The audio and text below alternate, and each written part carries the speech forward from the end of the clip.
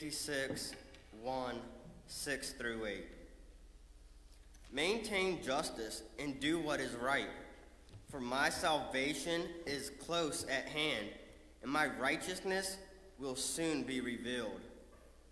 And foreigners who bind themselves to the Lord to minister to him, to love the name of the Lord, and to be his servants, all who keep the Sabbath without desecrating it, and who hold fast to my covenant. These I will bring to my holy mountain and give them joy in my house of prayer. Their burnt offerings and sacrifices will be accepted on my altar, for my house will be called a house of prayer for all nations. The sovereign Lord declares, He who gathers the exiles of Israel, I will gather still others to them besides those already gathered. Let's pray. Lord Jesus, we thank you for bringing us here in your presence this morning and for those that's watching either uh, via Facebook or Zoom. Lord, we uh, know you are here with us, but we invite you into our hearts this morning to speak to us through Pastor's message, through the worship. And Lord, we uh, lift up the Nice family. Lord, we just think of them. And Lord, we uh, just ask that you be with all the other prayer requests uh, that people have. And Lord, we uh, just pray that you would speak to us in this place today.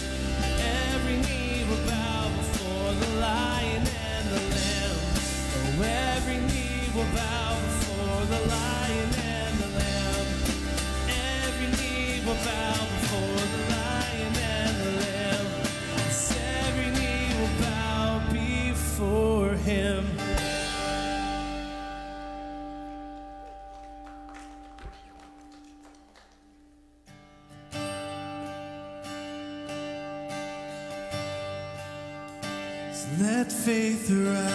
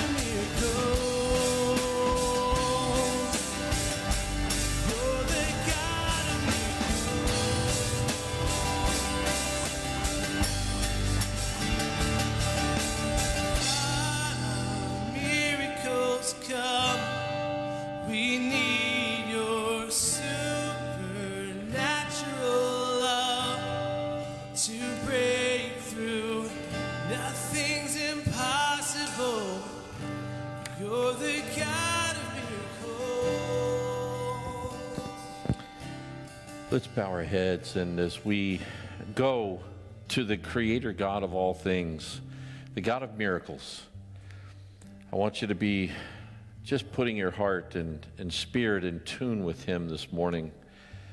At the end of the service this morning, we're going to have an opportunity to do an anointing for prayer. And those on Zoom are going to be joining with us as well. And, and I appreciate Kevin Sandell helping me there. And we'll be communicating with them in just a few minutes in the service. But just think for a moment what is it that the Lord can do for you today? What is it you're trusting Him for today?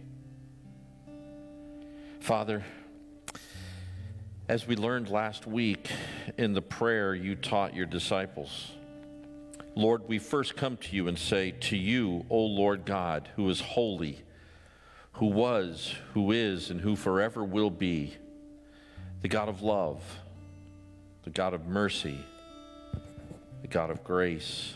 We come before you, praising your name and acknowledging who you are. Lord Jesus, as we come, we come knowing that the world is heavily burdened, Father, with this virus. And again, we ask this, Lord Jesus. We don't ask doubting.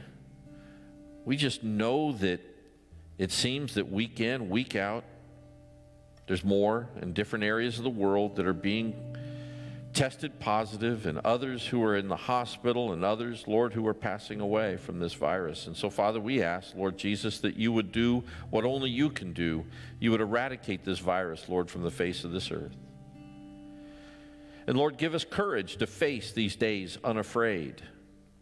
Fear is not going to do anything for us, Lord God. They don't, it doesn't add anything to our life, and it robs us of so, of so many things. And so, Father, may we do the right things.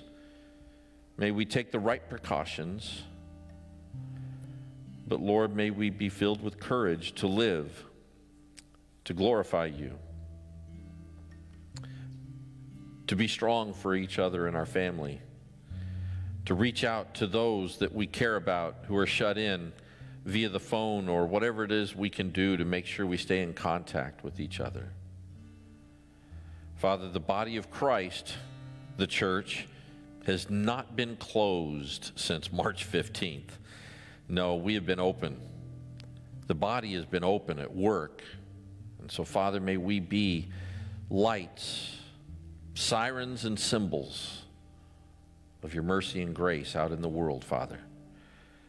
Lord, I, am thankful as I heard from Pam Day, our missionary there in, in the Philippines, Father, that she won't have to have a third procedure on her eye. Lord, we rejoice over that. We pray that you would continue to heal her retina, Father.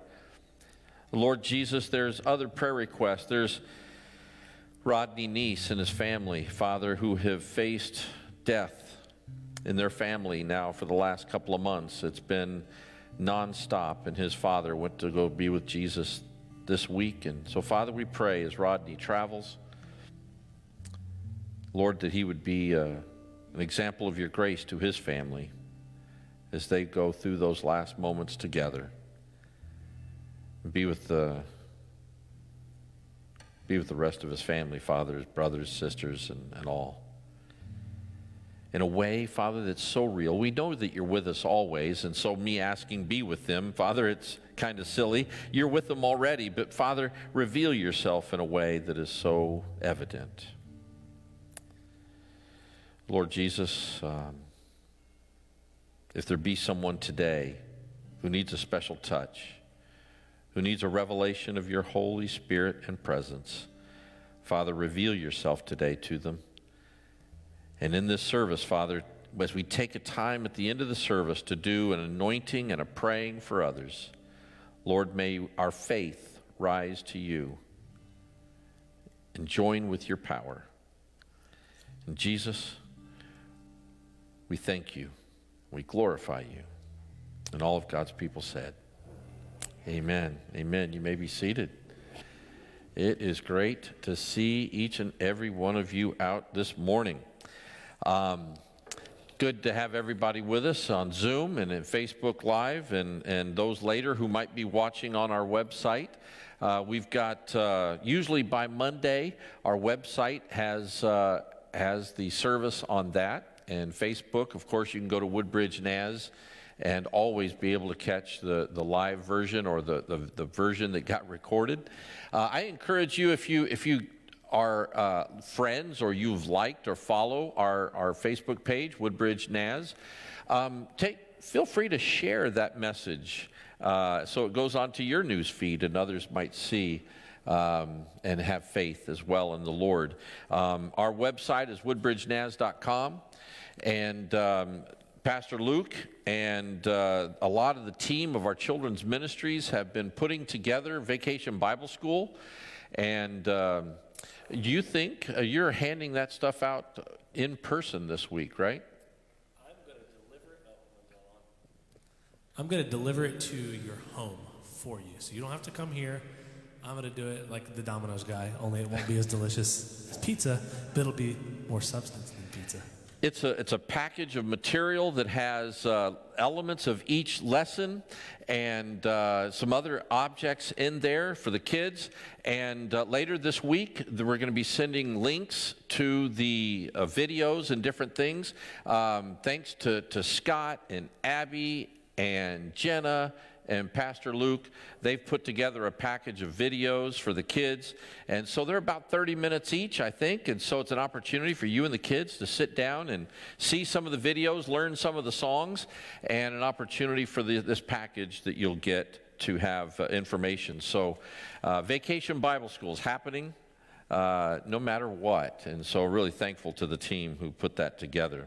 Uh, so, that'll be coming to you this week. If you would like that, and we don't actually happen to have you signed up, please send a message uh, to children at woodbridgenaz.com. Children at woodbridgenaz.com. That's Pastor Luke's email address, and you can get get that out there in Zoom. If you have grandkids, you have kids in the neighborhood you think that want to join in, send the message, message to children at woodbridgenaz.com, and Pastor Luke will get that out there for you guys. Well, ah, you know, it is great to be with you this morning. Um, it is great to see those. I already went on Facebook, and I've got my phone with me today. I'm going to have to keep this uh, at silence, so we're in good shape with that. Did you silence your phones this morning? That'd be great if you'd do that. Um, but a little bit later, um, Kevin Sandell, who's handling the Zoom, is going to be sending prayer requests in that we're going to be uh, doing some anointing for as well. Doing some interesting things, aren't we? But you know what? The Lord Jesus does not exist in one place. Amen? The Spirit of the Lord is present everywhere with us, with them, and an opportunity for us to experience faith and grace together today. We've been in a series of messages on spiritual formation. The goal is that we would be conformed into the image of Christ. That is what the apostle Paul says was planned from before the beginning of time is that each of us would be formed into the image of Christ. And when we each go our own way, we kind of distort and pervert that, that image. And so we looked at the idea of spiritual formation as reading the Holy Scriptures for information, for inspiration, and for transformation. We learned the, the concept of Lectio Divina, which is a, a way of reading the scripture out loud and repeating that several times and reflecting and re- allowing the Holy Spirit to reveal and then and then to respond to what the Holy Spirit is speaking to us. It's not a reading for information.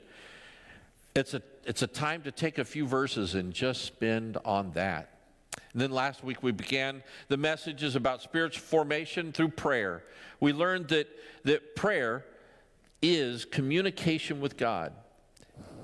Prayer is communion with God. It's this, it's this opportunity for us to become aligned with Him. We, we looked at that last week of how, as we spend time in prayer, as we, as we ask, as we seek, and as we knock, these are not moments in time. This is meant to be the process of this union with God, that we begin to be aligned with Him. We don't go to God to align Him with us, although a lot of times we do that. We go to God and we say, God, here's our list, get to work on it. Instead of going to the Lord and saying, Lord God, who are you and what do you want? And how can I get in, in line with what you're wanting for us? As we get in line with, with God, we will find that our prayer requests become answered in a lot more positive ways. As we learned last week about the Lord's Prayer, your kingdom come, your will be done on earth as it is in heaven. This is this idea of saying, We want your kingdom. I want to be a part of your kingdom, God. And prayer is this primary way in which we show our dependence upon God. You see, so many things that we can do. We can say, God, give me so I can do. But prayer is a time, it doesn't have to be on our knees, but it's a time in which we are saying, God, I can't do this. I need you in my life. I need you first and foremost. And so we learned last week that we need to humble ourselves. We don't go to God with our demands, although we can share with Him our needs. But we go to Him and trying to be aligned with Him, to seek His face, that we might know His kingdom, that we might surrender to His will in our life. And so, as we looked at those things, we talked about this too last week is that God's not a pill you take. He's not a, he's not a magician's chant some people ask, well, you know, if I pray in Jesus' name, do I get what I want? And, and in Jesus' name is not abacadabra of the magician at the end. You know, God, do this, do this, do this, and in Jesus' name. And then all of a sudden it just all happens. That's not, see, that's not what prayer is about. We, we make it about that, but, but prayer is, is not just a pill. I told you, I said, I've been, been trying to lose some weight, to, to, trying to get my diabetes under control. And, and you know, I could ask God to remove diabetes from me, and I have. But, I, but you know what I'm finding is that God wants me to become healthier. He wants me to eat better. He wants me to, to exercise. He wants me to walk. He wants me to, and you know what happens when I join God in that process? My blood sugar comes down. And, and, and you know what? Praise the Lord, there's medications out there we can take. But what we have to do is change our mind about prayer to be God, I'm demanding of you. It's like we've expected God to be the little puppet and we're the marionette. And we just say, God, do what we want you to do. We have to, we have to rethink of who He is, the creator of all things. Yes, He is the healer. Yes, He is the sustainer. But we, we need to get this alignment with God. In the 1600s, there was a monk, Brother Lawrence. He, he became rather well known for a book in which he did not write. It's called Practicing the Presence. And I want to talk to you about that this morning about practicing the presence of God. Prayer is this idea of recognizing God's presence. We don't have to pray God to be here, He is here. We don't have to pray for God to go and be with someone. He is with them already. But we want to practice this presence. We want to experience His presence. And so, as we begin to look at that this morning, let's look at some scriptural truth about that this morning. And, and I, I, as we look at it here on the screen, um, I'm at, we're going we're gonna read it. We're going to read it out loud. We're going to read it again, and then I'm going to ask Terry to take it away. I want us to do a little Bible memorization this morning. You thought, Pastor, I came here to get a good nap.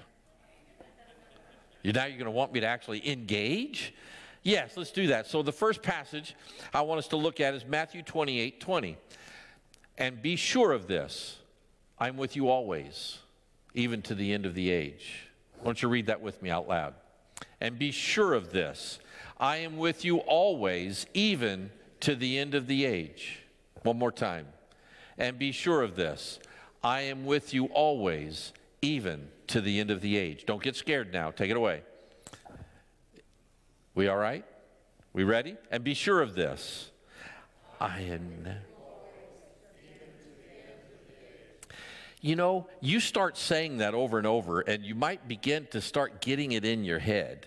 And then you begin to say, you know what? I don't have to ask God to be with me. He is with me, and He'll always be with me. And then we can go boldly to the throne of grace. Hebrews 13 5. I like this passage as well. Both of these are from the New Living Translation. Hebrews 13 5. For God has said, I will never fail you, I will never abandon you. Let's say that out loud. For God has said, I will never fail you, I will never abandon you. One more time. For God has said, I will never fail you, I will never abandon you. Let's try it again. For God has said, I will never fail you, I will never abandon you. You see, the biblical truth that we find in, in the scriptures is that we have promises of the character of God.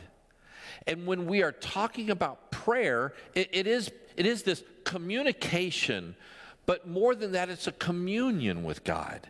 And we need the promises. He will never fail you, He will never abandon you. And then John 15, 4. Remain in me as I also remain in you. Let's say that together. Remain in me as I also remain in you. Remain in me.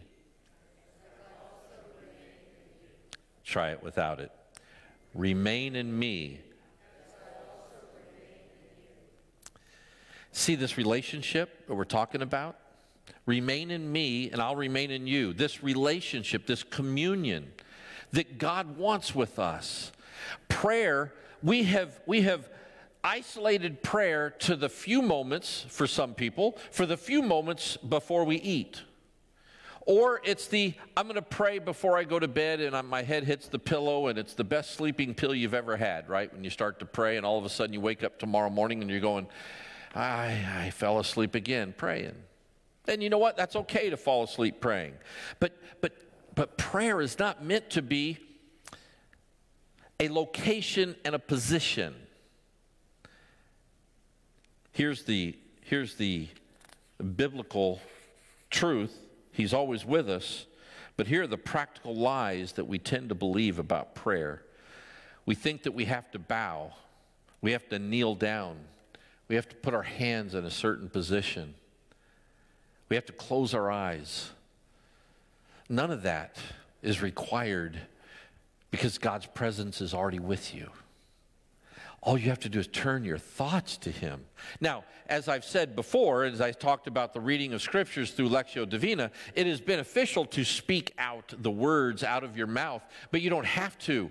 It's the thoughts in your mind. God is present with you. And, and so you don't need to go to some place. You know, I can't wait till I get to church to pray. You don't have to. You could be driving down the road. You, your hands are on the wheel. Your eyes are straight forward and paying attention, but your thoughts are with God. It could be in the midst in, in, the midst of an argument or a big struggle you're having. You, maybe you're angry and you're you just and then you just stop and say, God, help me right now. God, I need an experience of your presence in a way that'll change what's going on right now.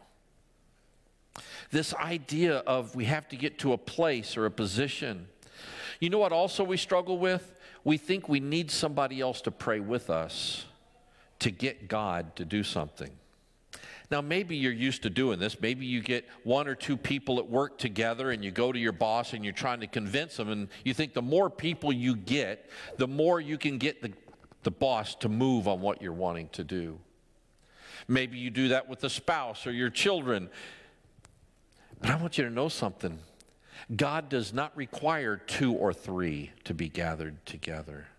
But, Pastor, doesn't the passage in Scripture say when two or three are gathered together, He's in the midst? God is there even if it's just you. Amen? This idea to think that I need to get 5, 10, 50, if I can get everybody praying, what do we think? That we're trying to convince God that He ought to do something for us?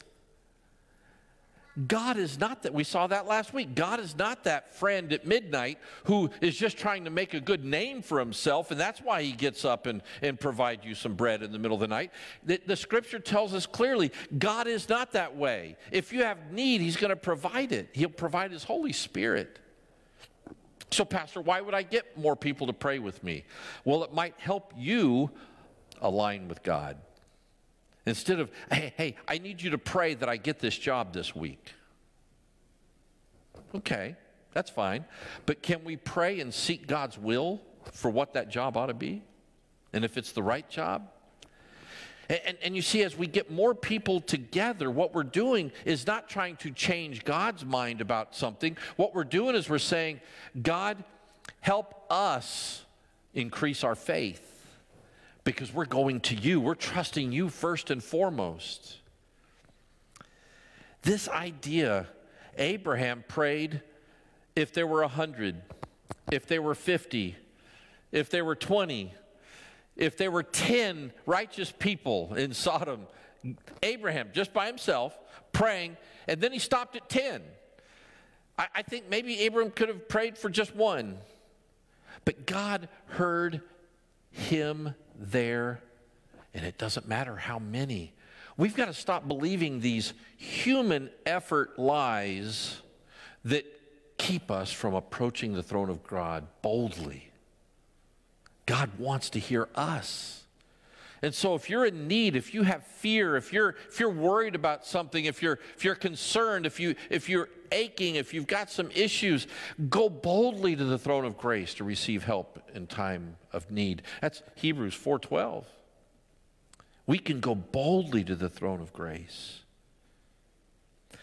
Well, We've seen the biblical truth that God is always with us. He's never going to abandon us. He, he remains with us.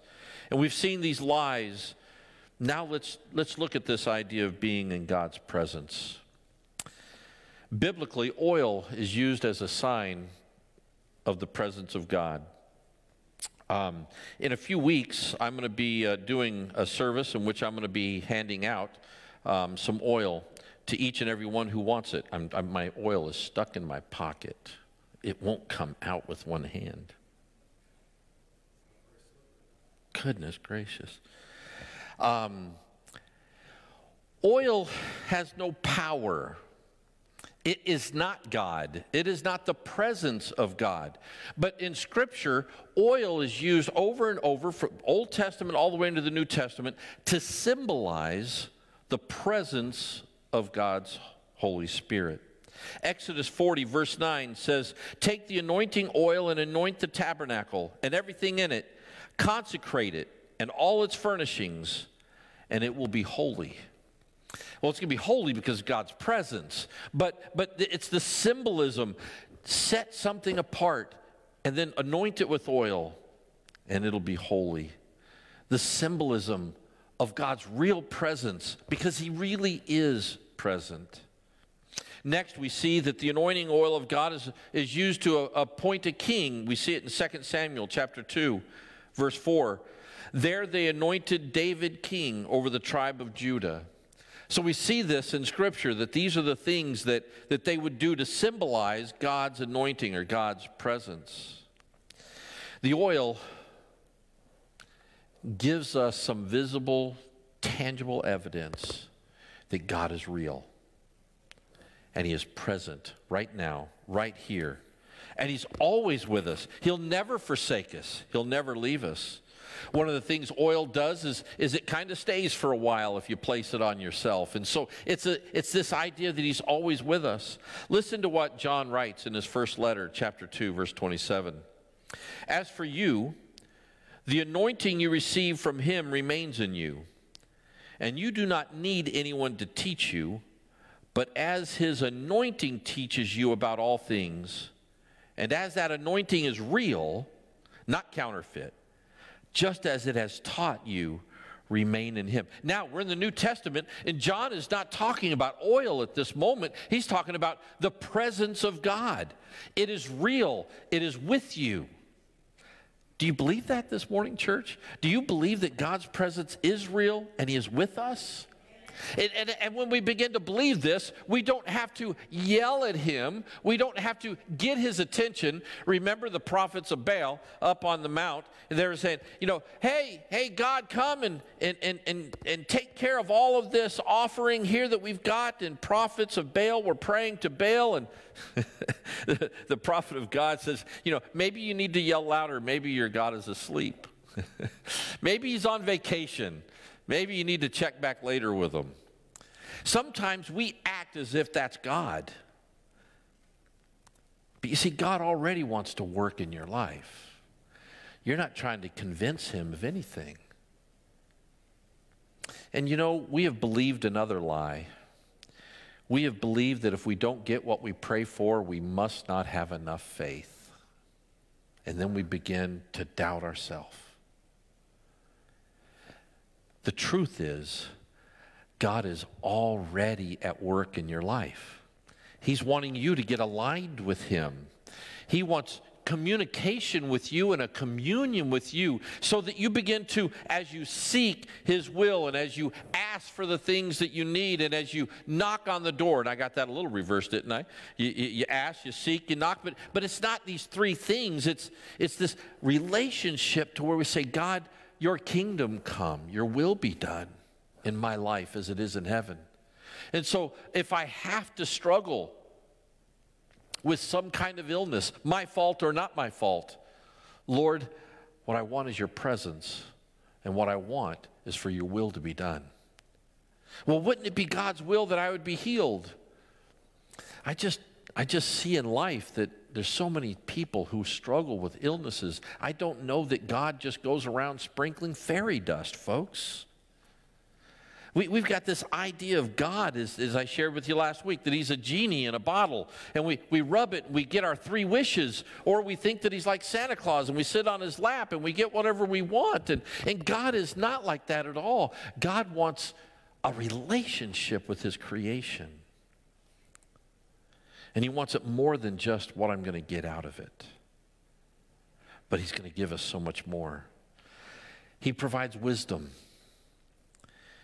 He provides understanding.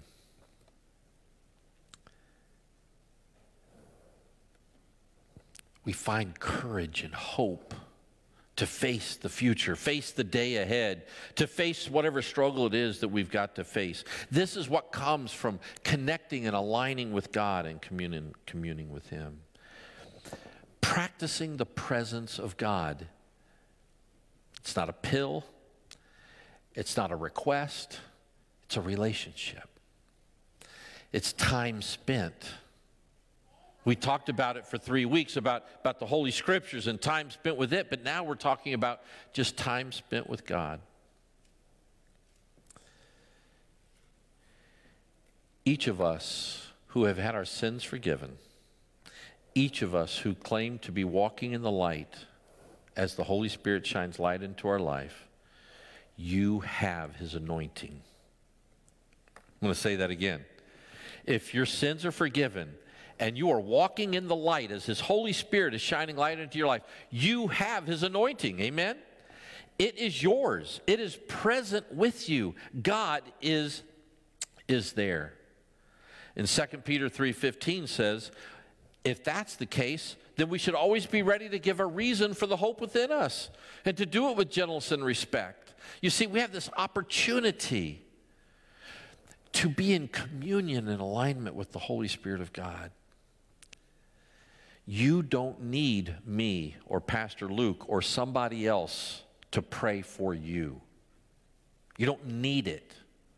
But, Pastor, so what's your job? Really, my job is really just to equip you to trust it and to believe in God. That's my job. But, but if you always come to me to pray for you, if you always go to somebody else to pray for you, it's like, it's like we're in sixth grade again, sending a note to a friend of the girl or the boy that you're interested in talking to, and you're, you're constantly talking to the other person and not the person. You guys have access to God Himself all the time. He's always with you, He'll never abandon you. He'll be with you even to the end of this age. You have an opportunity. You don't need us to pray for you. But what happens when we do pray together? All of our faith begins to increase and we begin to align ourselves with God and we begin to, to carry the burden for our loved ones and our friends and our family. We're not doing it to convince God to do something. That's not the type of God we serve. It's not the kind of God that we find in Scripture. God is Savior and healer, and He is powerful but you're the conduit. You are the conduit. God wants to use you. God wants to work in you and through you, for you, for your family, and for others. Look at James chapter 5, verses 13 to 15. This is this idea of coming together. Is there anyone among you in trouble? Let them pray. Is anyone happy? Let them sing songs of praise. Is anyone among you sick? Let them call the elders of the church to pray over them and anoint them with the oil in the name of the Lord. And the prayer offered in faith will make the sick person well, and the Lord will raise them up. If they have sinned, they'll be forgiven. So, so James challenges the church to be one together. But this isn't to get God to move, it's to get the church united. And in a few moments, we're going to have an opportunity if you want. We're going to do it three at a time. If you want to come, you can stand on one of these dots here and, and you're going to share with me what it is that you want to be anointed for. And then I'm going to anoint you with oil. And we're all going to stand and we're going to extend our hands out toward them. And they're going to do that out there on Facebook Live and on Zoom. They're going to join with us too. We're going to begin to trust God in a, in a corporate kind of way. Do you know the scripture says if you forgive someone, they're forgiven? Well, you're not Jesus. We're not Jesus. He's not saying that. He's saying He is with you. And if someone needs to be forgiven and you offer it, they're forgiven. Not because we have the power, but we're the conduit of God's grace and others can receive that. Others need healing. There's no one person who has the gifts of healing. Well, Pastor, I see it on TV. There's those certain evangelists, they have the gifts of healings. No, it's the Holy Spirit who has the gift of healing. Amen? We are just the conduits. And praise the Lord if someone on TV is able to, to trust God and, and to pray and others are being healed. But, but it's not that person doing the healing, it is God through that person. And you, you have that opportunity to be that conduit of prayer and healing for individuals. We who are ministers, we don't have the corner on the market of God. Each of us, as we practice the presence of God. What do you mean, Pastor? What do you mean practice the presence? I mean spend time with God, talking to Him, communing with Him, reading the scriptures, and beginning to align yourself with God's will what happens if I pray for someone and it's not God's will? It's okay. You can pray. God says, ask anything you wish. And if it's in accordance with His, you can have His will, you can have what you ask for. So we don't go to God to get Him to do magic tricks. We don't say in Jesus' name to be like abracadabra. No, what we do is we go to God and we say, God, you're the creator. You're the healer, your Savior. I'm coming to you. I want your kingdom to come. I want your will to be done in my life and in this situation. So if you need, pray. I challenge you to spend time with God, not just boldly approaching Him with your list, but boldly approaching Him and saying, God, here I am. Search my heart, see my life. And Lord, I, I want these things to happen in my life, but God, I want your kingdom to come. I want your will to be done in my life. So we're going to stand together right now and we're going to read the traditional Lord's Prayer. Remember last week I shared with you that both Matthew and Luke don't have really the traditional prayer that we typically say, but we're going to stay together, stand together and we're going to read this prayer together. And then if you feel like you want to be anointed with oil, I'm going to ask that you come forward and we'll begin to come three at a time and stand on those dots and we'll do that. So let's stand together.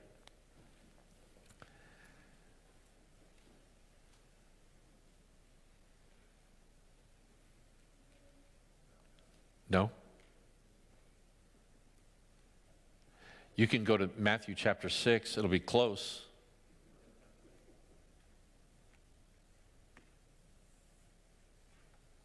If I started it, you guys would be able to join in without a doubt. Our Father, in heaven, hallowed be your name.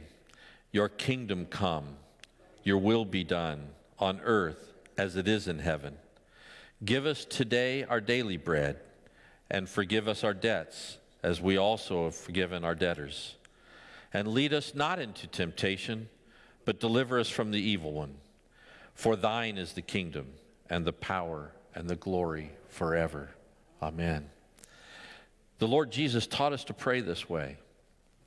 And if you have some kind of need, maybe you want to pray in behalf of someone else, won't you begin to come? And three can come quickly and, and line yourself up on these dots, and then we're going to pray. And as they go back, others can come forward.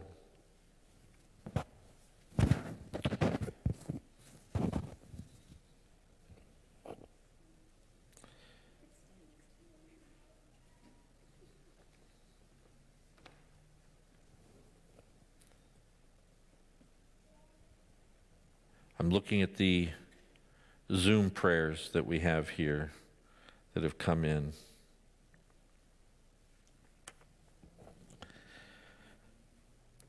What can the Lord do for you this morning? I want to be anointed on behalf of Ruben, Ruben Alvarado. He's a associate pastor at San Pedro Peninsula Church of Nazarene, and him and his wife have a ministry for young couples that marry, and they're still doing it from his hospital bed. And he was just informed Wednesday he's been put into hospice because he's terminal cancer, mm. and they don't expect that that makes it. We're going to be praying for Pastor Ruben Alvarado there in San Pedro, California, as he is in hospice care with cancer. So let's be praying for them. Lord Jesus, we join with Don's faith as he has come before the congregation, Father, and we extend our hands out towards Don. But Lord, what we're doing is we're really extending our hands out towards you. And so, Father, we are claiming that your presence is right there in the room with Pastor Ruben. His family is sensing your presence right now, Father God. And Lord, uh, we, we know that humanity, the medical profession has said that it's time, it's toward the end, and the hospice community has come in. But Father, we're praying, Lord Jesus, that you would heal, because Lord, we believe you can. But Father, we're asking also that you would reveal yourself in such a way to his family that they would have a peace that passes all human understanding. Lord Jesus, glorify yourself and Ruben and his family in the life there Pa- San Pedro Church of the Nazarene. Amen.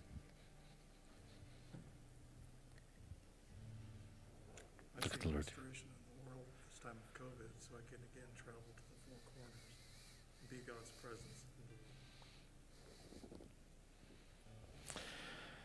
world. Lord, your child, Scott, has a peculiar job that requires him to travel the world. And Lord, right now that has been restricted.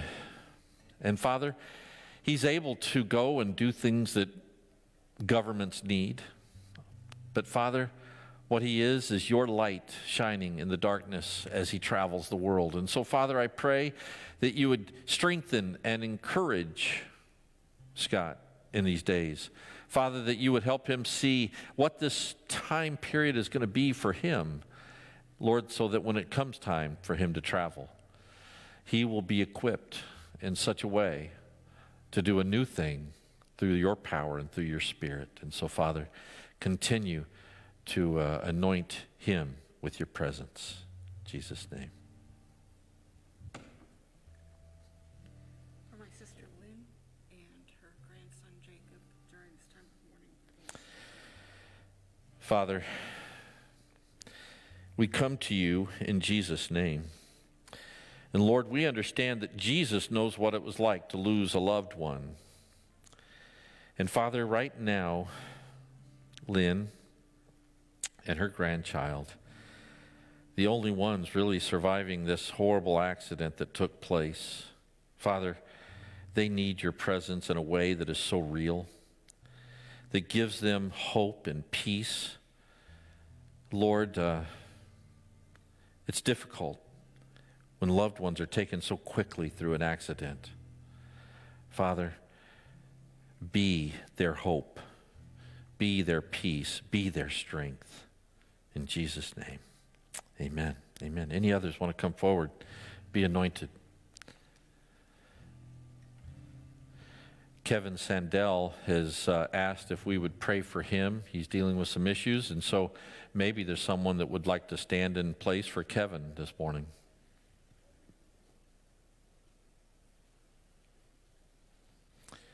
Scott, what can the Lord do for you? Scott has come praying in behalf of Rodney and his family. Lord Jesus, thank you that uh, we don't have to be right there in Indiana where Rodney's at this morning. Lord God, you're there. We thank you and we trust and we believe you're there. And Father, thank you for the faithfulness of a brother who's in discipleship together with Rodney. Thank you for Scott coming, Father. But right now, in a new and a special, fresh way, pour your spirit out to Rodney and his family as they deal with the pain of the loss of their father. Father, draw that family together as they draw near to you. Give them peace in Jesus' name.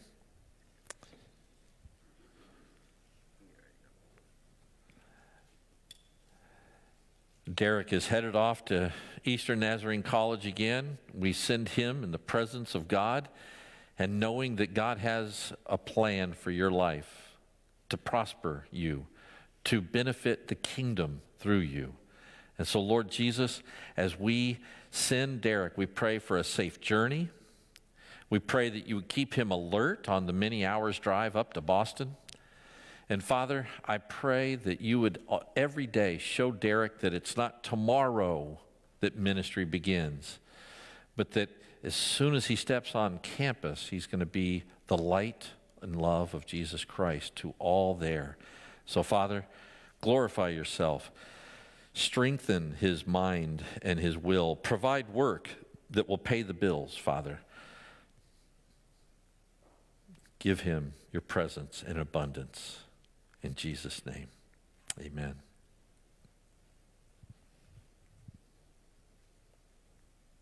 What can the Lord do for you today? I'd like to pray for uh, Ron and for Travis, their government, their jobs. That God will just uh, meet their needs. Lord Jesus, Gary's coming in behalf of his boys, Ron and Travis. Father, it's, uh, it's the life of the DC area where contracts have a period of time, and when those contracts come to an end, the employees are quickly trying to locate other work. And Father, I pray right now that, and I join with Gary's faith, that I know that Ron and Travis are trusting you right now, but Lord, that they would have a peace in the midst of the turmoil. That, Father, they would have a trust in you to give them light on their path, that they would know which way to walk.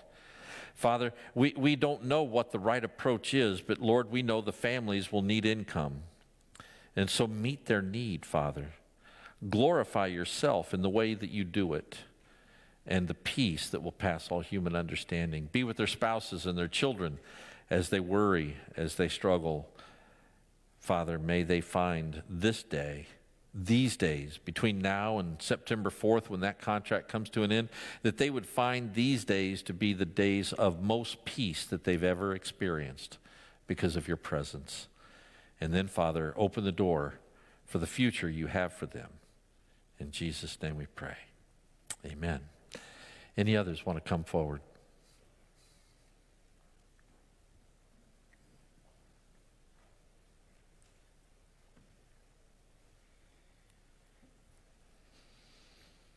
Like Daniel's restoration physically, emotionally, and spiritually. Lord Jesus, Pastor Narcissa brings her son Daniel before you. Father, he has had a horrible break in his leg. And Father, that means uh, a lack of work and, and other stresses and strains. And so, Father, she comes before you presenting her child to you, even though he's an adult child. She still cares and desires his best. And so, Father, I pray in Jesus' name that you would continue the healing in Daniel's body, but Lord, that you would continue to draw him nearer to yourself and show him your plan for his life. In Jesus' name.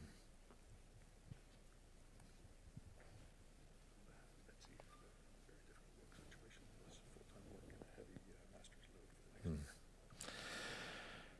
Lord Ian brings his daughter Betsy before you. Father, she works in a, uh, a job that includes some violence at times. And Father, we pray that you would give her safety in those days when she is working with these individuals that, that need your peace. Father, I pray that not only would you would protect her, but Father, as she is continuing her education, that you would give her abilities to focus and to clear her mind and be able to absorb the information that is needed. Father, she has chosen to give herself in humanity's way to care for people, to help people on a journey. Lord Jesus, would you reveal yourself to her because you are the great humanitarian. You are the great giver of love to others. May she have that to abundance and take care of her, Lord Jesus.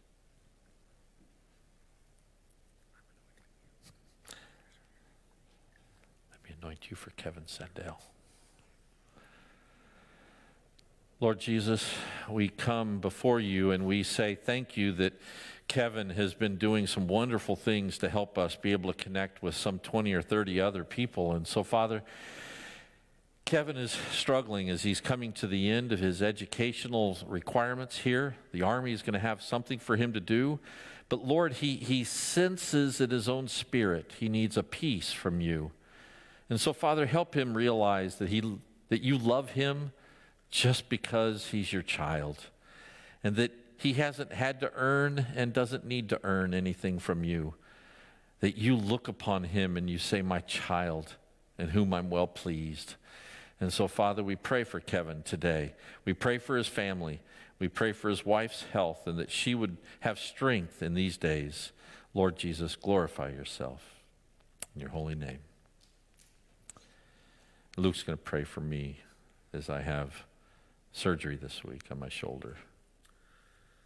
Lord, we ask that you be with Paul and Ethan as Ethan prepares to have this surgery on his shoulder and his bicep, Lord.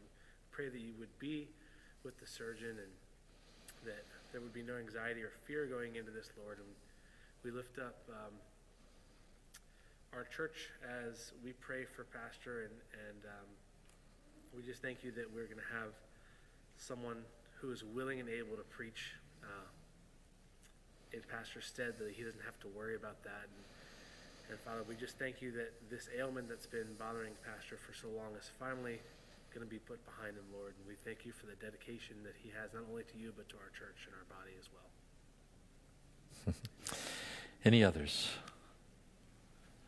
Any others? You see.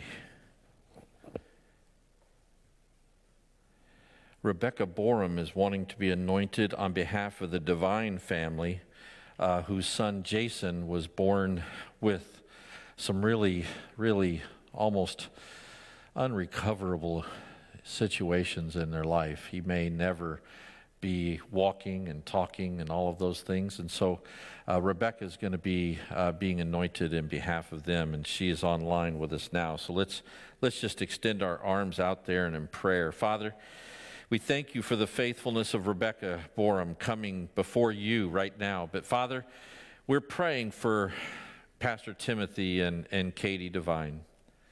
Lord, uh, they love you. Their children love you. But Father, this one, Jason, Father, we don't understand why certain young ones are stricken with such horrible illnesses that make it to where they're never really going to interact in ways that we, we understand. But Father, we don't believe you have done this.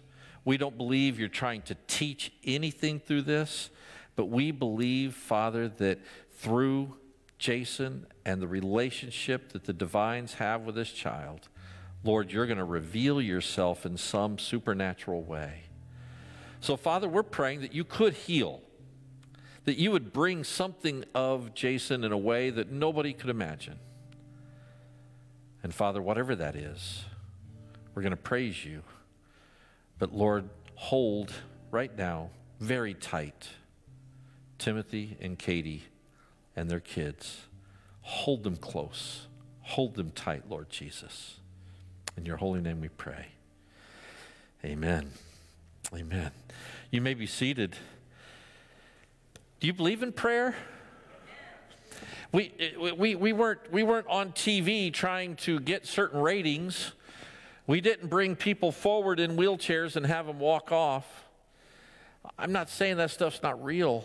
I'm just saying, folks, what, what real faith in Christ is, is saying, in spite of whatever might not happen, I'm going to trust God.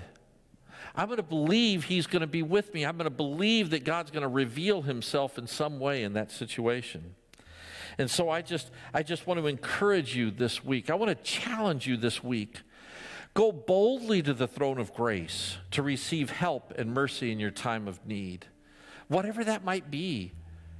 Might be a relationship issue. And you know what we tend to do? God changed them so that our relationship will be better. Instead, we should be going to God and saying, God, how is this relationship going to be any better? How can I be a part of that solution? God wants to align you with Him, and He wants to have communion with you. Father, as we bring this time of the service to a close, Lord, we want to celebrate you. We want to praise you. We want to give you glory and honor. In Jesus' name. Amen. Let's stand and let's sing. And we're going to sing this song, and I'll cover a couple of announcements, and then uh, Doug will be helping us with our benediction. But let's, let's trust that God is at work, and He's about to do something in an amazing way in our life.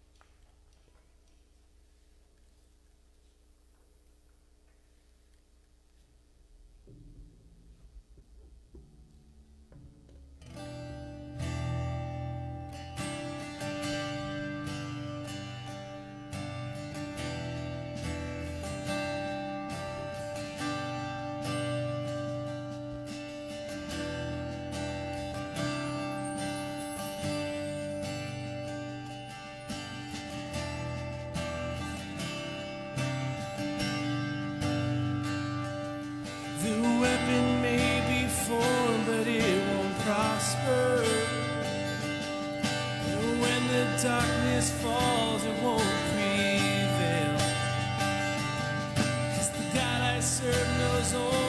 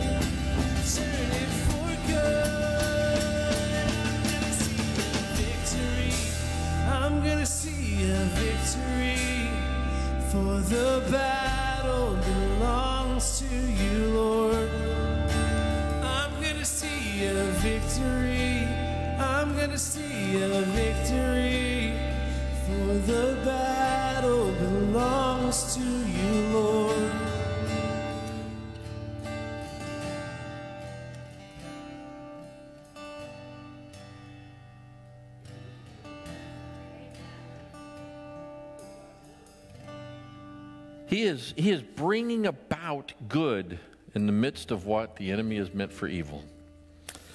Well, again, I want to say thank you for all of you who give faithfully to the Lord, this congregation. You have revealed God's grace to, to so many, the leaders of this church, as we have continued to meet the needs of, of the church without any hindrance. Thank you for that. Uh, at the end of the service, as you leave, there's a church building right there between the two exit doors. Uh, the top of the church is open. You can drop your gift in there. You can use uh, our Facebook page, Woodbridge Naz, and click on the Learn More button. You could use our, our website at woodbridgenaz.com and click on the Donate button there and give that way. Uh, so many people are giving to the uh, to, through bill pay and sending checks directly to the church. Um, I just want to say thank you so much for the faithfulness of each and every one of you for what God is doing and how He's taking care of our needs. Um, we have Tuesday night Zoom prayer meeting. Um, so if you're interested on the website, I'm not, not, not the website, but the uh, Facebook page, uh, you'll be able to scroll down through there and you'll find the link uh, to the Zoom prayer gathering Tuesdays at 7 o'clock. And we still could use some help around the building if you could you like to do some lawn, not lawn, but, but weeding and some trimming of bushes and different things around the property. Still some things that you could help around here with. And as Pastor Luke said, uh, we're going to be trying to deliver those packages this week to Vacation Bible School. So if you uh, have not contacted him, children at woodbridgenaz.com children at woodbridgenaz.com, and he'll make sure he gets uh, some of those packages out to you and get you the link to the videos that will be, be done. And you know what? If Maybe run some out, of you. can always order more. What's that? If we run out and we need more, then we can always just order We more. We can always get more. Um, and maybe you say, Pastor, I'm not sure I want to come out and do any weeding or anything like that. Would you like to make some phone calls to people who are not able to get out? I think they would love to have some people reach out to them. And so you can contact the church office. Uh, you can uh, contact me, A. Birch at woodbridgenaz.com, and uh, I can get information to you, some people who could be reached out to. So thank you, church, for being the church. It's great to see you guys today. One of our board members, Doug Ferenz, he's responsible for our facilities. Uh, be praying for him. We've got some decisions to make in the days ahead about some things we've been looking at. But, Doug, why don't you come?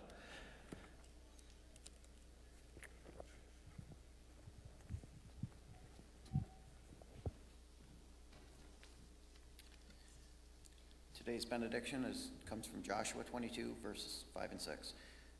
But be very careful to keep the commandment and the law that Moses, the servant of the Lord, gave you to love the Lord your God, to walk in obedience to him, to keep his commandments, to hold fast to him, and to serve him with all your heart and with all your soul. Then Joshua blessed them and sent them away, and they went to their homes. Have a great week. You're dismissed.